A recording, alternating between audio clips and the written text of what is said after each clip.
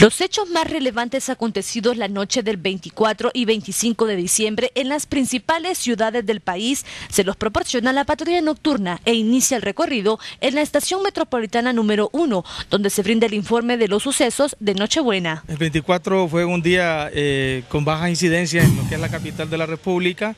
Eh, tuvimos 12 eh, personas detenidas por diferentes delitos en, en esta unidad, en estas metropolitanas, 35 personas detenidas por falta, a pesar de que fue un día bien extenso porque la gente no durmió ayer, hasta hoy a las 4 o 5 de la mañana se fueron a descansar. Eh, tuvimos tres muertes eh, que lamentar, dos de ellas un suicidio, un aparente suicidio. Están, eh, los investigadores están fundamentando esa tesis y dos sí fueron muertes violentos. ayer también nos hirieron a dos policías de la unidad metropolitana número 2. Ellos fueron a atender una denuncia y fueron emboscados por unos mareros, hicieron unas operaciones especiales para dar con la captura de, estos individuos. Y el día de hoy, como ha sido un día muy, pero muy pasivo, muy tranquilo para, para la policía. Asimismo, el heroico cuerpo de bomberos destaca el incremento de emergencias atendidos por ellos la noche del 24. Tuvo una fuerte actividad. Tuvimos seis, incendios en vivienda, uno en la colonia Quesada, uno en la colonia San Francisco, Residencial Santa Cruz, Brisas del Valle, Barrio Los Jucos, Barrio Las Pavas. Eh, estos fueron incendios en vivienda, de, eh, que se quemaron pues eh, algunas en su totalidad y algunas parcialmente. Tuvimos un cortocircuito, tuvimos cuatro incendios en Zacateras, una quema de basura, una inspección de, de incendio en el mercado zonal Belén, un conato. Eh, atendimos una falsa alarma, 24 servicios de ambulancia por diferentes causas. En las regionales, pues también atendimos un incendio en vivienda en, en el barrio Los Dolores, en Santa Rosa de Copán. Un incendio en el barrio del centro de Cotepeque, un incendio en vivienda en la comunidad de Hualaco, Santa Bárbara, donde falleció una, una señora de nombre Ángela Mejía, de 83 años. Eh, también pues ayer hubo un incendio en el barrio de la Concepción de La Paz, donde se quemaron parcialmente, parcialmente tres viviendas. Mientras en la morgue capitalina se reporta el ingreso de 16 personas fallecidas la noche de la Navidad. Por otra parte, así lucía la sala de emergencia del Hospital Escuela la noche de ayer 25 de diciembre. Más información de la patrulla nocturna en la zona norte del país. Comenzamos el recorrido en la 33 calle donde vecinos denunciaron negligencia de las autoridades municipales, manifestando que maquillan los enormes agujeros con tierra cuando hay eventos o juegos internacionales y que estos cráteres provocan congestionamiento y accidentes de tránsito. No se puede pasar por ningún lado y más allá por Infoc, por Palos Verdes también. Los grandes agujeros que se quita uno, cae otro 10 más. Si se quita dos 10 más, cae como 20 más. Eh, ya no aguanta, por todos lados hay un montón de hoyos que no se puede pasar los carros. pues. Eh, por aquí, olvide, por allá tienen que tirar uno. La gente viene conectada, jalada por acá abajo, el que no sabe, solo de boca viene ya ese hoyo. ¿Ha provocado varios accidentes? Sí, ha provocado varios accidentes. Supuestamente ayer, imagina, a la una de la madrugada, se vino a tener un muchacho ahí, tres carros más. Entonces, es un peligro, porque miren los motoristas cómo se tiran por allá. ¿Y sus vehículos también sufren averías? Ah, se estallan las llantas.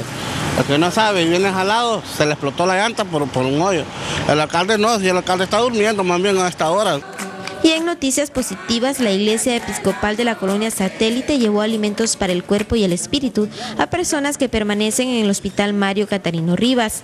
Esta actividad la iniciaron hace más de un año con personas indigentes y la ampliaron a los centros hospitalarios, en esta ocasión llevando una exquisita cena navideña.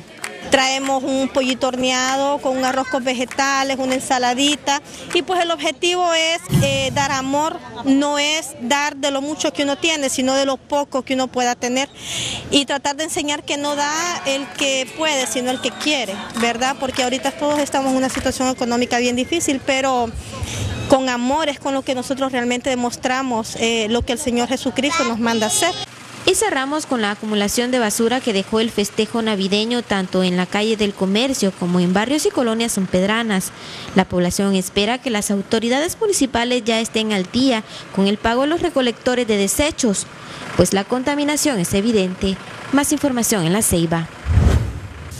Muchas gracias y cuando una repentina lluvia ha caído en las primeras horas de la noche de hoy sobre esta ciudad, iniciamos la patrulla nocturna con la información que nos brinda el sargento Luis Núñez en el cuerpo de bomberos. Y buenas noches, durante las 24 horas los que se tuvo fueron... Eh, dos traslados de por personas eh, por, eh, por, intoxicación de bebidas alcohólicas.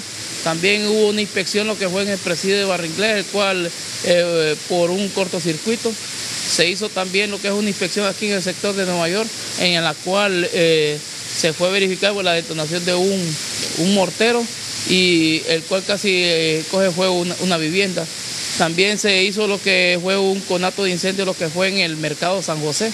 ¿verdad? Ya que por la, por la aceleración del juego pirotécnico eh, eh, casi agarra fuego una caseta que estaba ahí ubicada en, esa, ubicada en ese sector.